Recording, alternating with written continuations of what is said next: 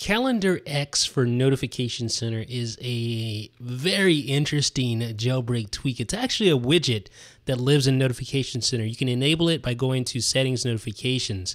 And here it is. This is Calendar X for Notification Center. It is a standalone calendar platform for your iDevice.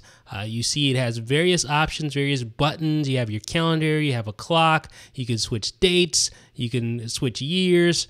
Uh, just a lot of options built right in. And the thing is, it's all standalone. It's kind of weird, but uh, yeah, you have all these settings here that you can enable and change up to customize the look and feel of your calendar. You can change the calendar type. Um, there's various languages that you can choose.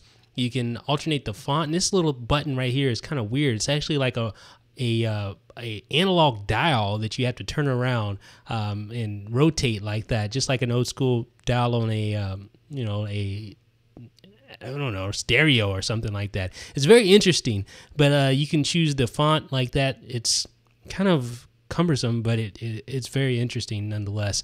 Uh, you have the clock. You can change between digital and analog. You have all the colors. Uh, just tons of options built into this jailbreak widget here. Uh, you can see I've changed the date over to a digital date. Um, and there's also events that you can add here. I'm going to add a new event. And again, these are standalone events. These actually won't show up in your stock calendar app. Um, I'm going to create a new flight to Maldives and um, say, let's go. You have the calendar, year, month, date.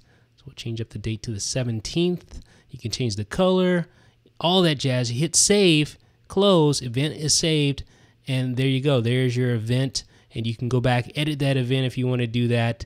Um, but again, like I was saying, if you open up the calendar app, you're not going to notice uh, this event on the 17th, 2013 of July.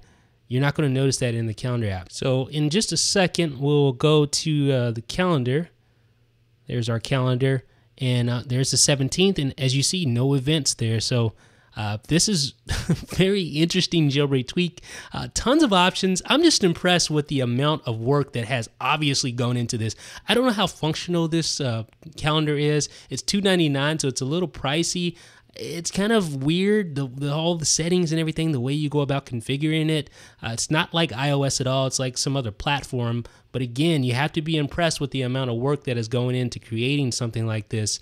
I don't know if I would use it at all, but um, hey, if you're looking for something different, then head over to Cydia's Big Boss Repo, download Calendar X for Notification Center for $2.99, and let me know what you guys think in the comment section. This is Jeff with iDownload Blog.